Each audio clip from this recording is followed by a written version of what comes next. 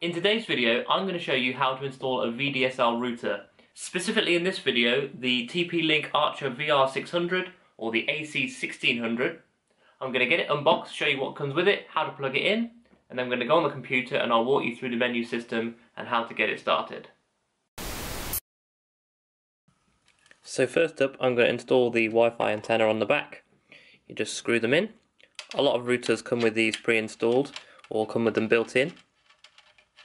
This one specifically comes with three that you have to screw on the back, really easy.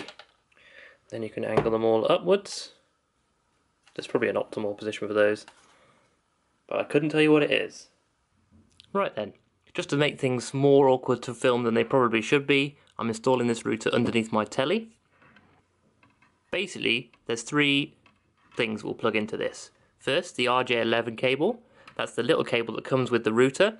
That plugs from your router in this port here to the wall socket. Preferably your master socket. Next you'll have any network cables you want to connect, so this could go straight to your computer or it could go to a television or a games console or anything like that. Anything with a wired connection needs to plug into the back of here. And finally, you've got the power.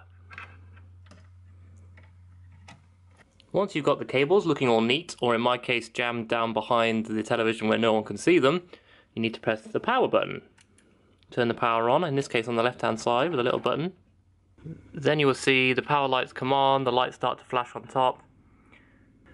Now's the time we need to go and turn the computer on and connect to it to set it up.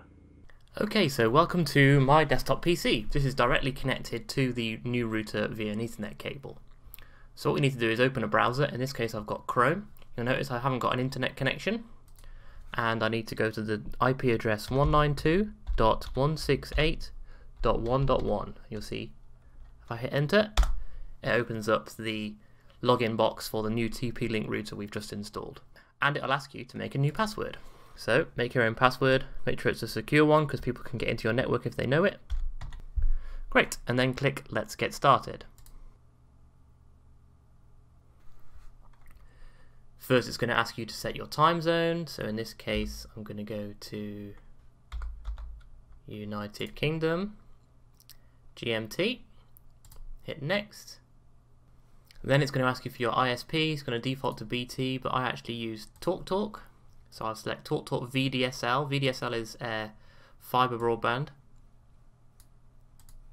and I'll hit next.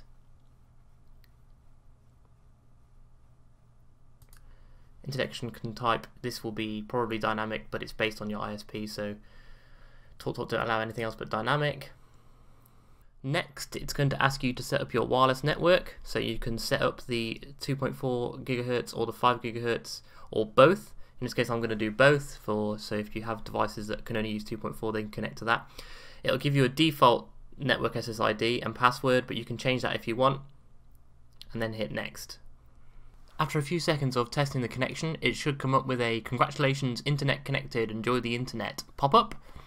Um, if it comes up with a sorry you can't connect to the internet, go back and double check your settings. If you've just randomly selected an ISP, try selecting other and then typing in the credentials that your ISP has provided for you separately. TP-Link routers also provide some cloud services. You can share USB drives over the internet, that kind of thing, so you can log into your TP-Link account here if you want to do that. I won't go into that into this video but you do that from here. So that's it. I hope it was really simple for you to follow. Let me know in the comments below if you've got any questions. I will try my hardest to help.